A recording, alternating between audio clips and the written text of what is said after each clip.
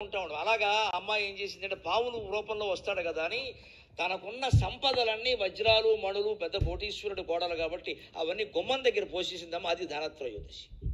గుమ్మం దగ్గర పోసేసింది మొత్తం. అంతేకాదు విపరీతంగా దీపాలు పెట్టేసింది గుమ్మం దగ్గర. దీపాలు విపరీతంగా పెట్టేసి విచిత్రమైన కాంతి ఉండేలాగా ధనరాశులన్నీ గడప దగ్గర పోసేసిందండి. ఈవిడ మాత్రం లోపల కూర్చొని పంచాక్షర జపం చేస్తూనే ఉంది.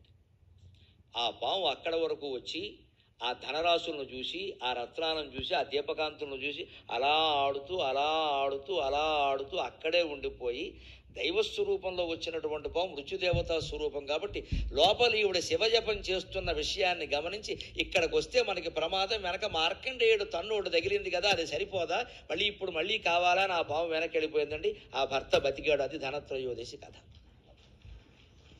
ఇప్పుడు ధనత్రయోదశి కథ మీద హిందూ ధర్మం మీద మనకి నమ్మకం ఉంటే మనం ఏం చేయాలి? ఇంట్లో ఉన్న డబ్బంతా గుమ్మంలో పోయాలి. అలా చేయండి ఖచ్చితంగా. అలా చెయ్యం. ఉన్న డబ్బంతా సేఫ్ డిపాజిట్ లాకర్లో దాచేసి పనులు కూడా దాచేసి వజ్రాలు కూడా దాచేసి ఇంకా ఎక్కడో ఒక పనికి మాలిన గోల్డ్ షాప్ వాడి దగ్గరికి వెళ్ళి అక్కడ కొనుక్కొస్తాం ఇక్కడ ఈ రోజు కొంటే పుణ్యం ఆ రోజు కొంటే పుణ్యం కాదు. గుమ్మంలో పోస్తే పుణ్యం. గుమ్మంలో పోసేసి నోరు మూసి కూర్చోగలవా మనం అక్కడ మకాం పెట్టాం. అసలు కథ ఏమిటి? జరిగింది పోనీ. అసలు కథ వాస్తవమా కథ పక్కనట్టండి. అసలు కథ ఎందుకు చెప్పారు? త్యాగం చేయమని చెప్పారు. అంటే ప్రాణం ముఖ్యం భర్త ముఖ్యం భార్యాభర్తల అనుబంధం ముఖ్యం ఈ ఐశ్వర్యం ముఖ్యం కాదు. అదండి అందులో.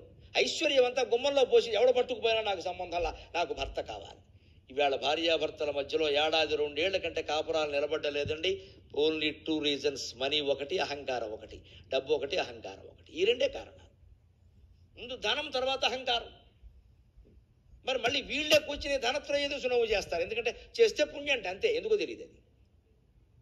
మనకి డబ్బులు వస్తాయి. ఇటువంటి పిచ్చి కథల్ని ఆయన ఒప్పుకునేవాడు కాదు. పైగా కథలో తత్వాన్ని గ్రహించేవాడు ఎక్కడికక్కడ. ఎవరైనా క్లిష్టమైన సమస్యల గురించి మాట్లాడి ఆ కథ అందుకోసం చెప్పలేదు.